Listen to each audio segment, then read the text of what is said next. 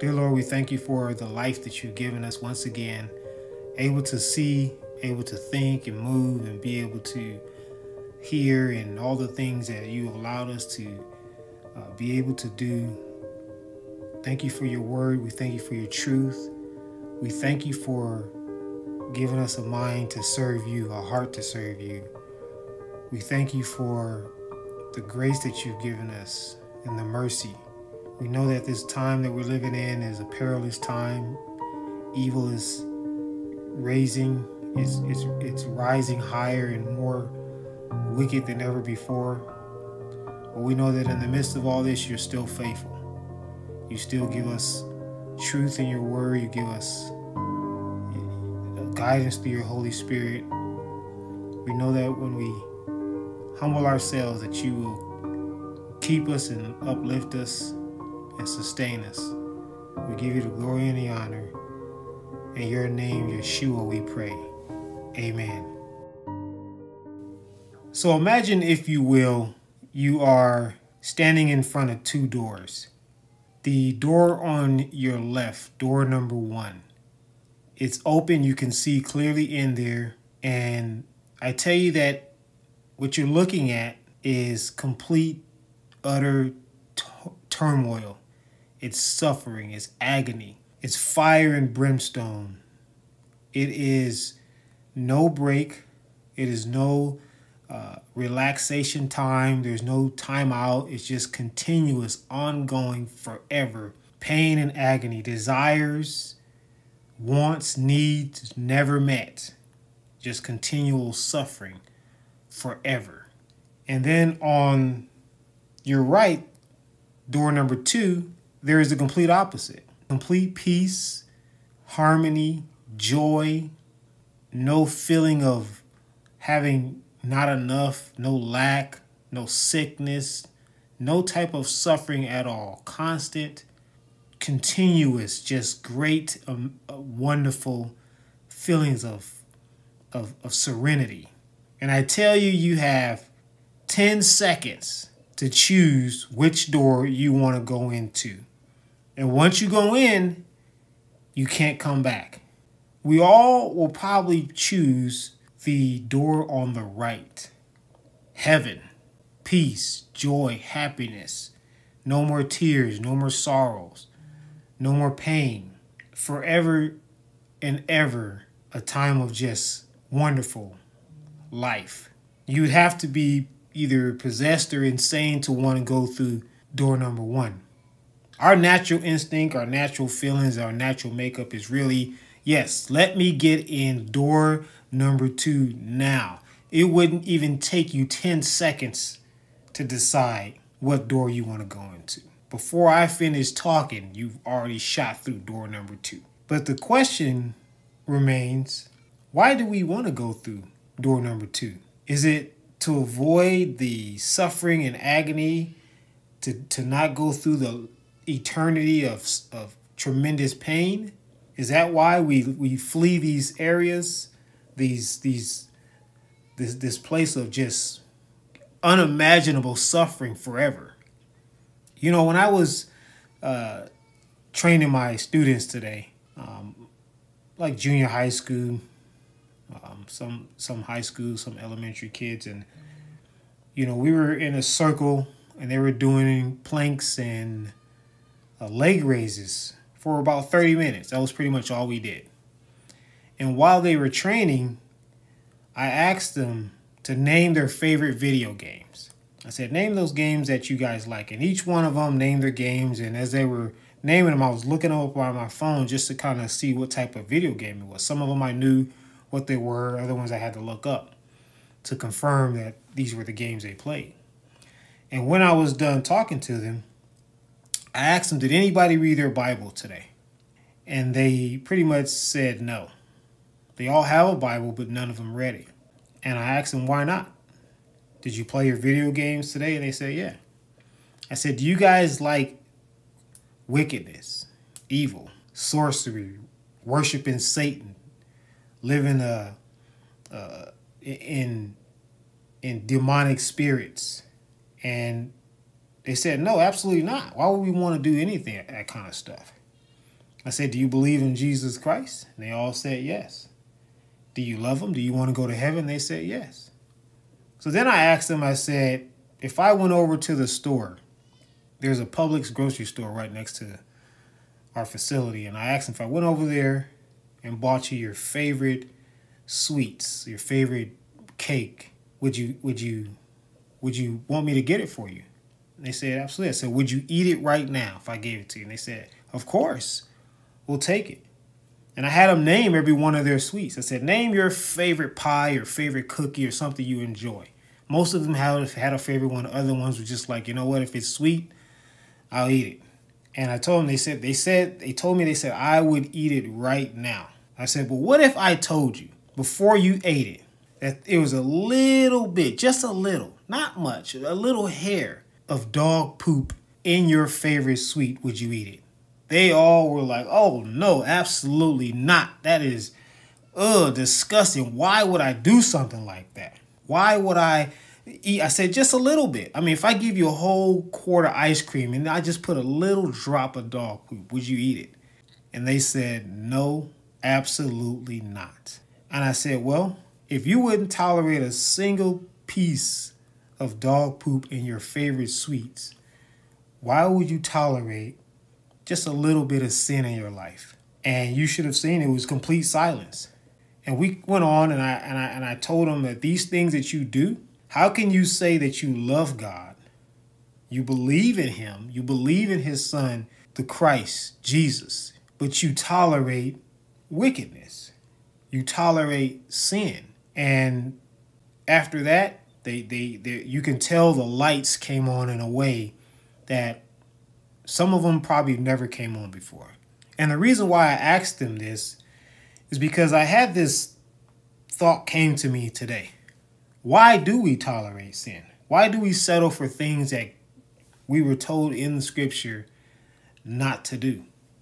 And the reason being is because this is what Isaiah told Jerusalem in Isaiah 29. He said, Insomuch as these people draw near with their mouths and honor me with their lips, but have removed their hearts far from me. This is what he says to the uh, the people of God who rejected or refused to do his commandments. He said, uh, and, and their fear towards me is taught by the commandments of men. You know, I was asking the Holy Spirit what to say today because I was I had all kind of issues, had problems. I was running all over the place, you know, and I knew I knew oh, God wanted a word to come forth. And that's why every time something that He wants me to say, the Spirit of God wants me to make known, there's always some rigmarole the enemy throws my way. And this word here should be a wake up call for every one of us who say we believe. Because if we ever taught about holiness or righteousness or we've heard the fire and brimstone preaching we've got to a, we've probably gotten to a place where you know what? Let me figure out the things i need to do so i don't have to go to hell. So i don't have to spend eternity in the lake of fire with satan. But at the end of the day jesus christ says the same thing when he's talking to the pharisees he, re- he repeats it he said the prophecy of isaiah is true you worship me with your mouth and your hearts are far from me. And that is where we're at in a lot of us who say we believe in Jesus Christ. We are we've learned to walk in this holy way. We've we've caught on to the checks and balances of showing up for church and paying tithes and saying our prayers. But our hearts at the end of the day are not for God. It's evident because we are living as we should. We we are still tied to our favorite games and movies and sporting events and all these different things that we try to find some type of pleasure in. Our, our, our netflix channels whatever the case may be. Alcohol pornography whatever it is. And and we say of the day you know the commandment that we've been given as you talked about in, in Jude 4 1 is that that grace it came in by some slick lying preachers, teachers, And, and and and and now it tells us that all we have to do is just believe in the Messiah, and we're saved, and we can, you know, obviously live as we choose. And hey, we all fall short of the glory of God. The commandments that we learn about righteousness, about holiness, is not in the scriptures. The Bible tells us that we are to lay aside every, every sin and weight that so easily beset us. Not the ones that we think we can manage or the ones that don't seem to be so bad. He said every single one of them. When I was done talking to these kids, I asked them if they had any questions, and one of them said, You know, what does it really mean to worship the devil? And I said, If it's wicked and if it is a thing we put before God. And he was one of the young men that had uh, played one of these video games that was obvious sorcery in it. Had all these different spells and magic and all this stuff in it.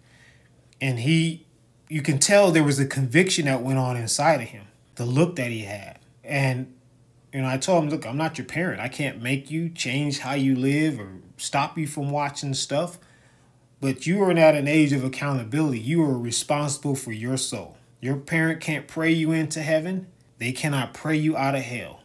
You have to walk according to the word of God, or else, as John said, we are a liar.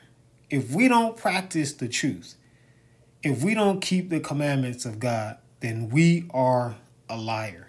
The first commandment in the Bible is that we are to love the Lord our God with all our heart, mind, and soul. There's not in one of those commandments does it say, do what I say so you don't go to hell. It says, love him. But we've been hoodwinked into believing that that means that we do these rituals, these routines of showing up for different ministry groups or services and certain prayers and all these other kind of things. But when we're not doing that, we find ourselves walking contrary to the word of God. Jesus Christ, Yeshua, the Messiah said, If you love me, keep my commandments. Well, the first commandment is to love the Lord our God, Yah, with all our mind, heart, and our soul. And as I made mention before, there's so many opportunities for us not to do that. We don't live in the time when the new the Old Testament scriptures was provided or when Christ walked the earth and the disciples. They didn't have all the wonderful, amazing, appealing, attractive things that we have today. All these phones and gadgets and apps and movies and all these different things that are that are pulling our attention in so many different directions. But what keeps us stable? it's it's the question it, it comes down to the question of why do we really want to go to heaven? Are we trying to avoid condemnation? Or do we really love god? Do we really love his son? Do we really love what he did for us on the cross? We we should all know that someone who tells us they loves us but then don't show that to us calls us to question if they love us or not Jesus Christ tells us that love goes beyond the words that come out of our mouth and our and our routines that don't build us, that don't edify the body of Christ, that doesn't convict us. I was talking to a gentleman, uh, a newfound brother in Christ here, and he was telling me he had this this uh, I want to say Versace cologne or some expensive cologne that he had. And he did the research and found out how it's tied to satanic stuff. The people who made it, it has all this, the, the logo and all these different things were completely satanic.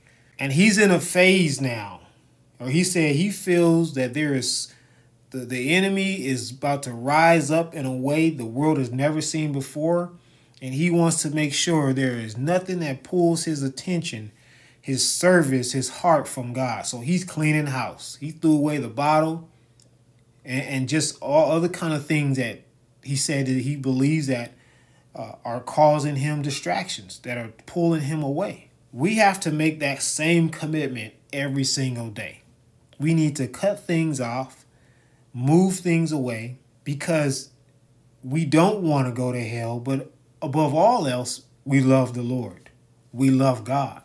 We want to serve Him completely. That's a, I mean, if you really sit back and think about it, if you take the time and you really start pondering that question, why we want to go to heaven, you, you, you, you'll be amazed what you'll think about. Because I, when it came to me, I was like, why do I really want to go? Why am I putting all this stuff away? Why am I, why am I sacrificing these feelings to watch certain movies or do certain things, just hang out? We need to know inside why we want to go. And the, and the hope is that it's because we want to be with the Father for eternity. Only He weighs the heart of all human beings. Only He knows what's deep down inside of our hearts. And I will tell you, there is no way, and you cannot justify it through anywhere in the Bible, that a heart that is not all in for Him will be in heaven. And the reason why is because God is a holy God. He is a righteous God. There is no wicked, any of that in him. So that means that we have a heart that's halfway, half stepping, partially in him. It can't be in his presence. It can't be before him. We see this in the ministry of the disciples. We see this in in uh, Judas. He walked with Jesus, but his heart was for money. We see it with Peter. He walked with Jesus as well, but his heart was set on fear, and he sank while, while he was trying to walk on water. This is why, again, the Spirit of God has to be, must be, the driving force in our walk with Christ. God knew that we could not love him without him. And this was proven all the way back in the Garden of Eden. As soon as God left the garden, here comes the serpent. And it was moments later they fell, they disobeyed. God knew this. This is why he sent his spirit, the Holy Ghost. So that way, when we're walking this earth, and here comes the serpent, which is the serpent is everywhere now, all over the place, in everything we have the Spirit of God to, to not only help us discern how we should walk, but at the same time enable us to walk according to the truth and not stumble around in lies claiming we love God, but then at the end of the day, our heart is only set on, well, I just don't want to go to hell. When you look at Revelation, the revelation of Christ given to John, he named seven churches of Asia. And there were six out of the seven where Jesus Christ had an issue with the church, those churches. He didn't like some of the things that they were doing. And he told them to repent. He told them to turn. He, eh, he wasn't writing to a king of a country. He wasn't writing to, he wasn't addressing uh, uh some pagan group or some off the wall satanic. He was talking to the churches, meaning the body of Christ. And he said, repent. He said, turn. He said, watch. I heard a preacher say the other day, I was watching this, this gentleman and um, completely tell a lie to, uh, he's a growing preacher on YouTube and he's telling lies and he's, he's, he's leading people astray. And he said that, you know, there are a couple of scriptures in Revelation that talked about names being blotted out of the book of life. One of them is Revelation 3 5, where he tells the dead church if you don't over if you don't overcome, then your name then you would run the risk of your name being redacted. And then there's the other one where if you take from the book of life or take from the this revelation that he will take from uh, he will take from you the, the book of life. And then he gives these these off the wall lying excuses why he says this isn't applied to the church. This isn't applied to the body of Christ. And of course, people who don't study the Bible for themselves, they follow this universal Christianity of all grace, no obedience, believe what he was saying to be true. But when you look at the book of Revelation and he's talking to the churches and he gives these details about being a dead church, a lukewarm church, after every single one, before he moves on to the next, it says, He who has an ear, let him hear what the Spirit says to the churches. He's not just addressing the, a particular church. He's addressing how church people, the body of Christ, carry themselves. None of most of us never even been to Asia. So why would this even be a part of us? The reason why is because it's we get to a place of being dead, lukewarm, and end of the day just not doing what we're supposed to be doing. And this is uh, you have we have to understand the truth about who Jesus Christ is talking to. So we don't get into this false idea that well that doesn't apply to me. When you look at the faithful church, the church in Philadelphia, Jesus makes a very very profound statement to them because of their faithfulness. In Revelation 3 chapters uh Revelation chapter 3 verse 7 he says these things says he who is holy, he who is true, he who has the key to David, he who opens and no one shuts, shuts and no one opens. Verse 8 I know your works. See, I have set a door before, a open door before you, and no one can shut it. Jesus Christ said, I know your works. He didn't say, I know your faith. He didn't say, I know your, your, your words. He said, I know your works. Our works is a representation of the word that came out of our mouth and the heart we have. And because their works were faithful, he said he has set before them an a open door. We all have to get to the place of being faithful. Faithful to the to the Savior, faithful to the Father, faithful to the Holy Spirit. And when we get to this place, we need to stay there. We can't be straddling the fence. We can't go back and forth. We can't have that that mindset that that well, you know what? It looks like Jesus taking too long to come. It's only a matter of time before the one world order rises and the antichrist takes the center stage and gives a super miraculous deception to the world. Those who are straddling the fence are going to be sucked right in. Ask yourself, what did you do when everything calmed down after the 2020 pandemic? Did you stay in your prayer closet? Did you keep fasting? Were, were you humbling yourself? Were you repenting and turning from stuff? Or did you gradually slide back into that life? That was a wake up call for every one of us. There's going to come a, an event just like that, but there won't be no comeback there won't be an opportunity to say, oh, let me do it again, God. Let me try again. It won't be like that. God allowed it to happen so that we can wake up and, and decide for ourselves who we really want to serve. We aren't to be serving our fears or serving Him as this God who's ready to send wrath down on the earth. So let me figure out what steps I got to take to get to heaven or, or acts I got to do to make sure I have this form of godliness. When our heart is for Him, we overcome the world. When we set our affections on things above and not the things below, we overcome the world.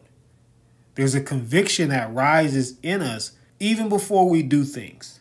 You know, I had to go to the line, I had to get in line today at the store. And uh, before I, I had to wait, to, you know, now today it's, it's forever to get to be able to talk to somebody because people are not working like they used to. But I waited, and a, a young lady comes up and says, Hey, can I help you? And I didn't realize there were two people before me. So the other gentleman that was helping another customer said, Hey, they were first. And I, and I said, Okay, yeah, go ahead, go ahead. And they said, Are you sure? I said, Absolutely, go ahead. Go on. So, you know, I waited and, and, and it kind of pushed my time back a little bit, but I, you know, I, I had to respect that because they were before me. But then as I waited, standing there, waiting on someone to call, call me, the lady to call me next, a guy jumps in front of me.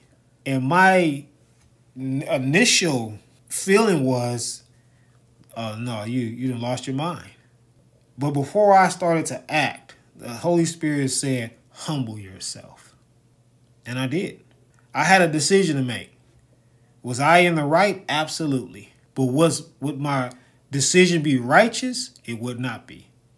The Holy Spirit will always be there to tell you go left, go right, slow down, go faster, move over a little bit.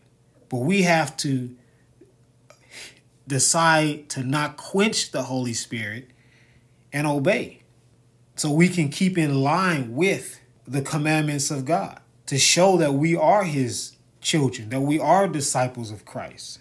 We are living in the world now where the enemy is going to do every single thing to get us to walk outside of God's will. That's his that is his goal. That was what he did from the the day he had his first interaction with men. But thankfully, truly thankfully, God sent his spirit so we can have the ability to actually not walk in a, in a way that is not pleasing to God. Again, this is the this is the season for mass deception. This is the season for people to fall further away, to harden their hearts because they don't want we don't want to have the discipline to get off, stop watching stuff and get off these things that don't, you know, I don't want to hear that no more. I don't want to hear about repentance and holiness and righteousness. I want to hear my blessings coming, my miracles on the way, favor, glory. We want the prophet to come in and give a fresh word from heaven, completely missing the fact that God never blessed a single person that was disobedient.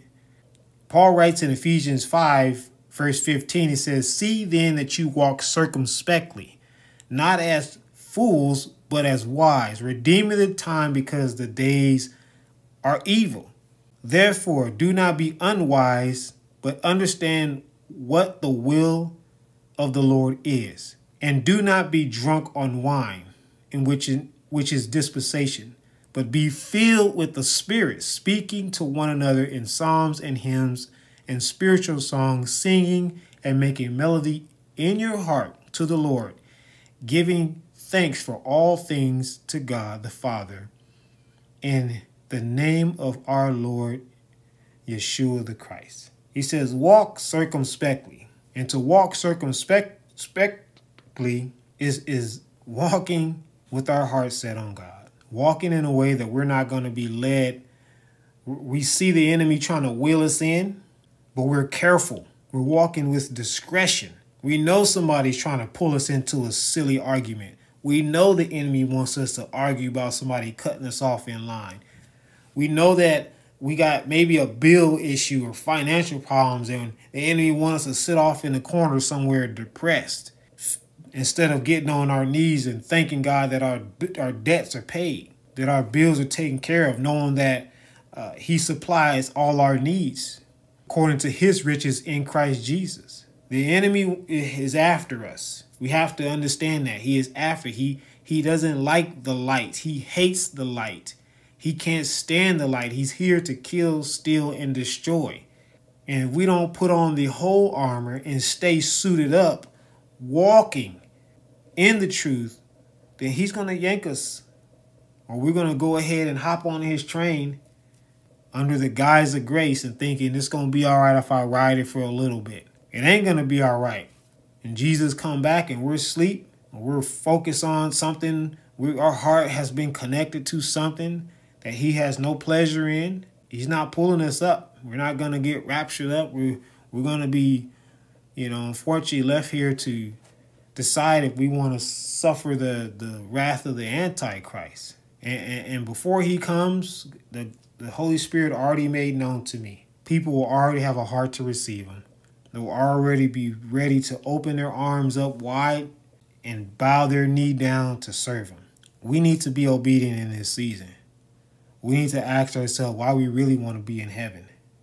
And if it's because we love our Father, we love His the, the, His Son, our Savior, then our life should reflect that.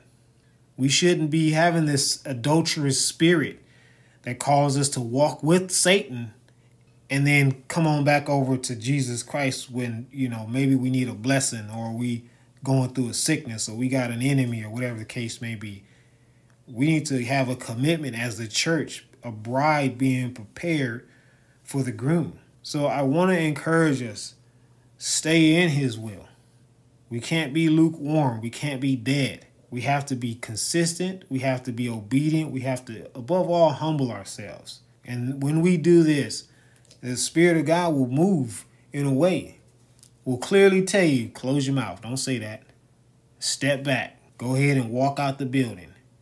Get on your knees and pray. I'm, I know it. I almost said today, after all this stuff I was going through, I said, I almost said something about my my walk in my faith that's not consistent with the word of God and what's really not true because the enemy creates these theatrics. He puts on a show.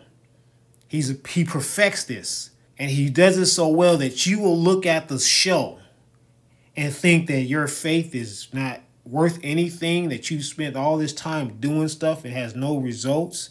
You never really planted any seeds. You're not his child. He will have you look at the the the, the stupid lie that Satan puts out there. He'll have you look at his lie and get you questioning, well, am I really God's child? So again, let's ask ourselves why we want to go to heaven. And let's let our answer be a truthful one, consistent with the word, and let's walk as such. He's preparing a bride. He's preparing us. Don't think that adversity you're going through is for nothing. He chast he chastises whom he loves because he wants you to be ready. And we got to take that chastisement and move on to the next level. Thank you, Heavenly Father, for your truth, for your word. Thank you for blessing us. Thank you for empowering us with your spirit. We know that you have called us to live holy and righteous. We know that the enemy is defeated. We will walk according to your truth because we love you. Not because we don't want to go to hell, but because we love the fact that you sent your son to die on the cross for us so that we can walk in love, in truth, in holiness and righteousness, because that is where our heart is. That is where our mind is and our soul. We thank you. We give you the glory and the honor. In your holy name, Yeshua, we pray. Amen.